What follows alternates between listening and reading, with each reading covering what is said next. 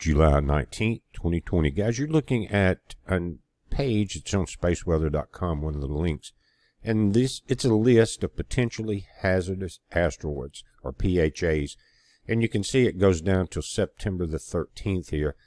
And uh, in color coded, you've got uh, in the light orange in the center, uh, what's called the miss distance of an asteroid called 2020 NQ2LD then one in a darker code, 2011 ES4 in the bottom, and it's saying 0.3 LD. Guys, you know how far that is? That's 71,656 miles from our planet. And so the color codes really should be updated to something much closer. Now, if you go to the Jet Propulsion Laboratory, and I put it in for, for one year, and I'll show you the closest couple of named asteroids that will be here within a year, but the closest one will be here very soon, November the 2nd. But now, look, if you go and you look up until July the 19th, which is today, you've got three asteroids listed. Notice to the left. The closest one is 1.99 LD, guys. That's almost, uh, you're approaching a half million miles. It's nowhere close to our planet. If you notice, 1 LD, which is a lunar distance, the average distance between the Earth and the Moon is 238,856 miles.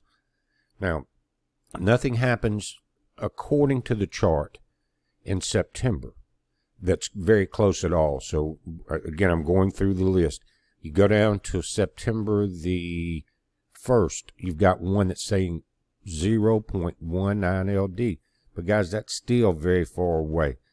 The, um, when you're dealing with that kind of distance, it's not going to come anywhere close to our planet, and a lot of this is overhyped when you start seeing the color coding that you see. But the 2011 ES4 at 1.9 LD is 45,382 miles from our planet. Now, you know, the uh, ISS is about 200 miles above the planet, 220, something like that on the average. But if we go over and look to November the 2nd, now this is where it starts to get serious we're looking at the minimum distance of 0.002 LD. An even closer distance if you look at the next column, which says AU, or astronomical unit, which is the distance between the Earth and the Sun. But on November the 2nd, 2018 VP1, the asteroid, it's, it's saying it will come 4,777.12 miles from the planet. Something interesting about it, if you put in the math of the 3.19 E-5 AU, or astronomical units, it's saying 3,634 miles is the distance.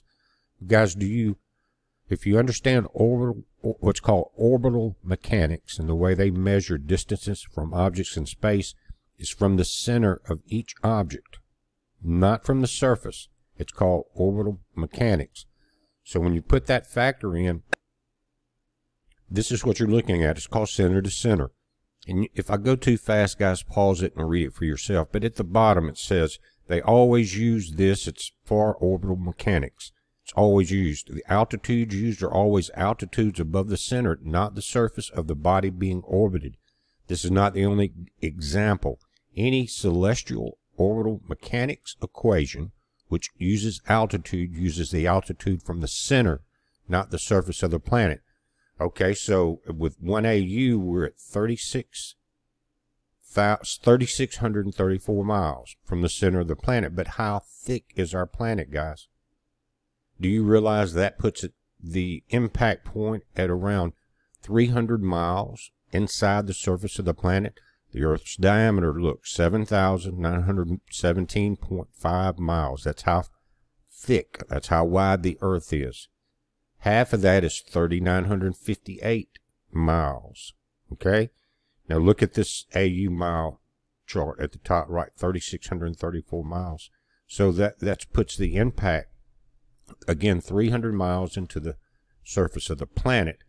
And if you look at the JPL models, they give you a scale and it uh, shows the degree of uncertainty as far as what they are, have determined where this object will go. And so I put in 2018 VP1, that's this asteroid. If you look down to the right, it gives you different elements. uh, as for instance, it was the arc span uh, was for 13 days. The first time was 2018, 11 3, November the 3rd. The last time was November the 19th that they were able to get an orbit on this thing. The condition code is 7. That's important. And there's your last date of orbit, November the 19th, 2018. But this con condition code goes from 0 to 9. 0 means they know pretty much exactly where it's going. 9 means they're very unsure. It's called the MPC or U parameter, orbit uncertainty estimate 0 to 9, with 0 being good and 9 being highly uncertain. So the 7 uh, is very close to the 9, guys, as far as uncertainty. Now, let's look at the actual model on this thing, and that's notice today's date. And 2018 VP is now behind the Earth. It's slightly below us. It's going to come close to us, not very long, but it's going to slowly rise. It's almost in the ecliptic. Notice that it reaches outside of the band of Mars, which is in the red orbit, and then loops back in. And that puts it very close to passing through our asteroid belt. Now, if we play this forward, I'm just going to make it very quick, but um, we'll go up to where it's going to come under the Earth as we look at this. And then notice how the Earth, which is in the blue orbit, intersects the white orbit up in front of where Venus is now. That's the date on November 2nd that we're going to have this close approach, whatever you want to call it. I'm just looking at the numbers on it. But uh, guys, the once they what they call relocate or rediscover the asteroid as it gets close enough to be picked up on radar, they may update the information from back in 2018. That's uh, that's how this works. But with the information now, again, during September, we don't see anything close. And but I'm know for a fact that we're not told everything, because if you think about it, if they said there's going to be an impact event, and anything over a thousand meters, guys, is uh, an, almost an extinction level event strike what's happening in Africa and the Saharan dust cloud has nothing to do with any of these asteroids. It happens every year.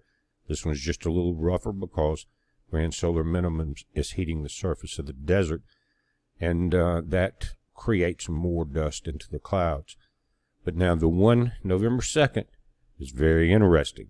And that's what I know about it. If anybody has anything besides what they're hearing from different sources, if you got some technical data that you can get or some information, then put it in the comments below and we can all share it.